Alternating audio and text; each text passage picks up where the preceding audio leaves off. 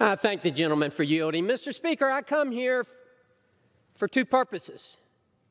One is to express my opposition to this bill. My second purpose is to express my hope. My hope that we can come together and that we can negotiate a long lasting and a significant compromise, an American compromise to an American problem. Just yesterday, the Democrats in the Senate blocked Senator Tim Scott's bill, the Justice Act. They blocked it from moving forward with debate.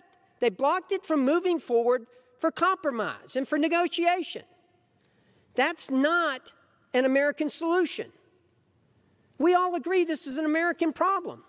We all agree we need an American solution, and we all agree that that means we've got to have negotiation. That means that we've got to have compromise.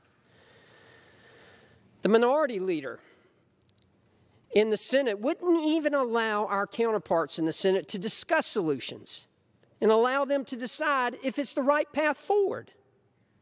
Now, here we find ourselves in the House, facing a situation where we have a partisan bill drafted without Republican involvement that's being brought to the House floor to be voted on in a rush process. That's not an American solution to an American problem.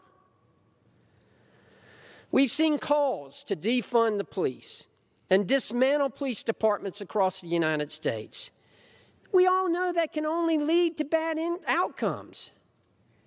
We all know that the police are there to protect and to serve. Yes, we all know that there are bad policemen out there. We all know there are bad actors in every profession, and we know that they need to be weeded out. We need to do that. And we also know that those bad policemen are as offensive to the good policemen as they are to anyone. No one wants to see them weeded out more than the good policemen want to see them weeded out. This bill does nothing to address those calls and reassure Americans that things will happen. No, this is a partisan bill with no Republican involvement whatsoever.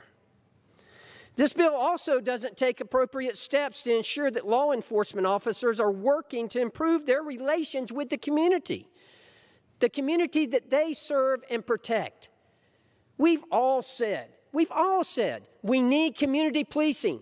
You ask any policeman, any good policeman out there, what's the best police practice? And they'll tell you community policing. That's what we need. Instead, this bill limits their ability to do their jobs and keep them, it keeps them in their cars rather than interacting with the people in their communities. That's what they want to do. They, they're not there for the money, we know that. There's not a single police person out there that's there for the money. They're there to protect and to serve. And they want community policing. That's what they want. Mr. Speaker, in my district, we had a tragic death of a young man whose life ended way too early Ahmaud Arbery. This was something that none of us should accept in our society, and none of us will accept in our society. It should have never happened. We've had protests as we should have protests. I'm very proud of the 1st Congressional District because our protests have been productive. Yes, we should protest, and yes, we are protesting. And we're getting results because we're protesting in the right way. We're protesting to change the system. That's what we want to do. We're protesting to have an American solution to an American problem. The right path forward, Mr. Speaker, is discussion and negotiation with our eyes, with our goal, with our mission set on real reforms. This bill doesn't have that. This bill doesn't represent that. This bill is not an American solution to an American problem. That's why I'm urging my colleagues to oppose this bill.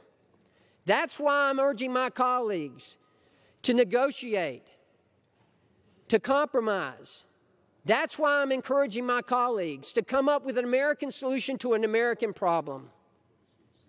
Thank you, Mr. Speaker, and I yield back.